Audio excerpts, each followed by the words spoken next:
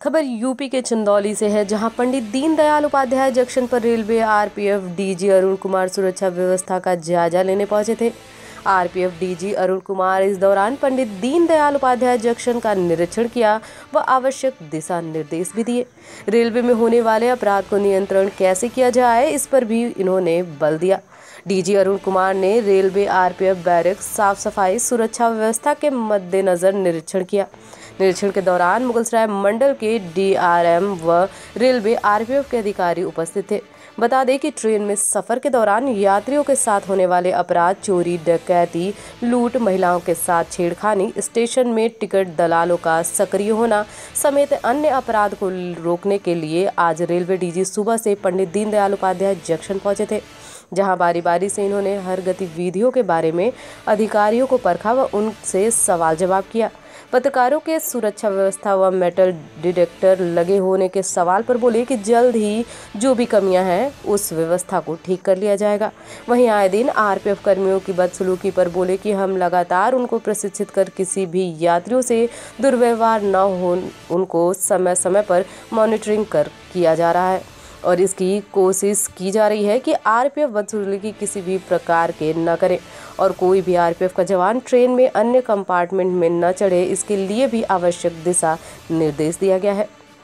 चंदौली से हमारे संवाददाता सुजीत तिवारी की रिपोर्ट। पकड़ो। हाँ। सर अ, क्या कार्यक्रम था? आज पूरा आपने निरीक्षण किया डी जंक्शन और यहाँ पे क्या कार्यक्रम रहा? आ, यहाँ पे सबसे पहले हम लोगों ने यहाँ पे जो सुरक्षा लाइन है उसका इंस्पेक्शन किया। और वहाँ पे जो हमारे जवान हैं, उनके सुरक्षा सम्मेलन में उनसे इंटरेक्शन हुआ, जो उनके समस्याएँ थी, उसके बारे में हम लोगों ने बात की। और उसके बाद फिर हम लोग स्टेशन का निरीक्षण हम लोगों ने किया और स्टेशन पे आरपीएफ पोस्ट पे हम लोगों ने जो है, जैसे बॉडी ऑन कैमरा है, जो जो स्कॉट्स पे आरपीएफ जवान जाते हैं, उनको ये प्रदान जो है वो किया जा रहा है पहली बार। और उसके बाद कुछ हमारे पोस्ट थे जिसपे कि नई गाड़ियाँ उनको जो है वो प्रदान की गई। और उसके बाद फिर डीआरएम साहब के ऑफ़िस में जो है वो ओवरऑल डिवीज़न के बारे में क्या क्या काम चल रहे हैं क्या ऐसे उसके बारे में हम लोगों ने बातचीत की। और ओवरऑल जो है वो मुगलसराय डिवीज़न में रेलवे के जो वर्क्स चल रहे हैं उसके बारे में और जो प्रोजेक्ट चल रहे हैं उसके बारे में बात किसी प्रकार की खामियाँ सर पाई गई अभी तक? नहीं ऐसा नहीं है। मतलब यहाँ पे बल्कि अच्छी बात ये है कि पूरी टीम जो है वो जितने भी रेलवे के विभाग हैं, सब एक साथ जो है वो रेलवे यात्रियों के कल्याण के लिए उनकी यात्रा सुखद हो पाए। रेलवे का जो अपना काम है कि वो सही ढंग से जो है वो सामानों की ढुलाई कर सके, ये सब चीज़ें जो है बहुत अच्छे ढंग से एक टीम के रूप में यहाँ पे काम हो रहा है। सर, सुरक्षा व्यवस्था की आपने बात की, आज से लगभग दो ढाई साल पहले खबर लगा चुके हैं हम लोगों ने। और जो मेटल डिटेक्टर वगैरह होना चाहिए था ये अभी तक नहीं लग पाया जो कि उसी समय बोला गया था सीएजी की रिपोर्ट आई थी। उन्होंने बताया कि कुछ ही समय में ये लग जाएगा लेकिन अभी तक वो हुआ इसका कारण जैसे मैंने अभी बताया आपको कि हमारे यहाँ जो है जो भी स्टेशन है वो चारों तरफ़ से खुला हुआ है। तो एक जगह पर यदि हम मेट्रो डिटेक्शन लगा दें और बाकी जगह नहीं लगाएँ तो उसका कोई मतलब नहीं रह जाता है। इसलिए सबसे पहले आवश्यक ये है कि जो ऐसी एंट्री और एग्जिट हैं जिसकी आवश्यकता नहीं है उसको बंद करने की आवश्यकता है। तो वो बंद करके सिर्फ़ उतने ही एंट्री और एग्जिट पॉइंट्स रखेंगे जहाँ पर कि हम लोगों को कर सकें और एक बार जब वो बन जाता है तो उसके बाद सारे जो है वो लगेज स्कैनर है अंडर व्हीकल स्कैनर है जैसे बाहर में अभी है आपने देखा कि जिस ढंग से हमारा सर्कुलेटिंग एरिया है तो एक तरफ़ जो है वो ऑटो के लिए लेन है वो यहाँ के निकल सकती है।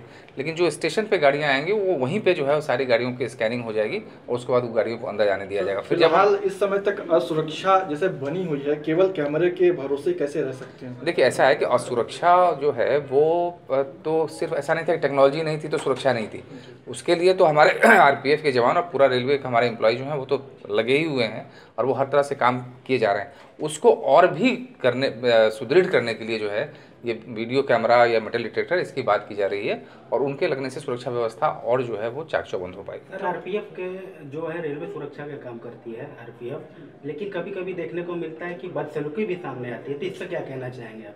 ऐसा है कि वो तो कोई ह्यूमन बिहेवियर एक आदमी से जो है कहीं से भी हो सकती है लेकिन पूरी फोर्स जो है उसका जो हम लोग लगातार कम्युनिटी में जो है वो उनसे बात करते हैं उनको हेल्पलाइन के बारे में शिक्षित करते हैं। दिव्यांग जो हमारे कंपार्टमेंट है उनमें नहीं चढ़ने के लिए उनको कहते हैं। ये हमारा कम्युनिटी आउटरीच प्रोग्राम होता है। इंडिविजुअली कहीं कोई घटना होगी तो नेचुरली उसके बारे में हम लोग उसको देखेंगे सुधारेंगे। सर आज यहाँ कुछ इनपुट था मुगल सराय के बारे में? कुछ विशेष इनपुट नहीं ऐसा कोई इनपुट नहीं था। सुरक्षा को नहीं ऐसा कुछ नहीं। मुगल थोड़ा सा सेंसिटिव रहा है हमेशा से? हमेशा है लेकिन आज ऐसा कुछ नहीं है। क्यों आप कुछ करवाना चाहते हैं? Thank you